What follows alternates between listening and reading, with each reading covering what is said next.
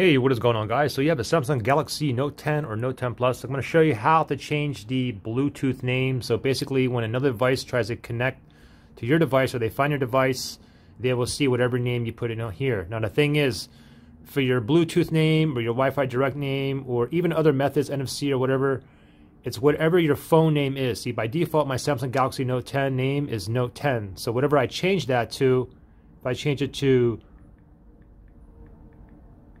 Joe Blow and click on, click on done. And now when another um, device tries to go ahead and connect to my device, they will find the Joe Blow. Okay, so how do you get there is very, very simple.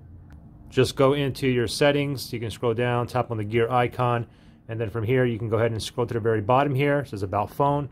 Tap on About Phone, and then right here it says Edit. You can see I have Joe Blow there. Anyways, just tap on Edit and then go ahead and put whatever name you want on there click on done. After that, when another device tries to connect to you, they will see the name you put on there. For, uh, for me, they would see Joe Blow. Hope that helped you guys out. Thanks for watching. I'll see you guys in the next one.